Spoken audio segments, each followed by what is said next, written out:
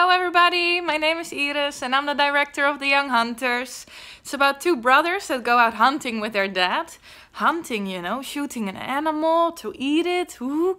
It's a bit controversial, but I hope after you've seen the film you can discuss a little bit about it, you know. What is the difference about eating meat from nature or from the supermarket or should we not eat meat? It's a little bit of a discussion. Well, I hope you enjoy the film and stay safe. Bye!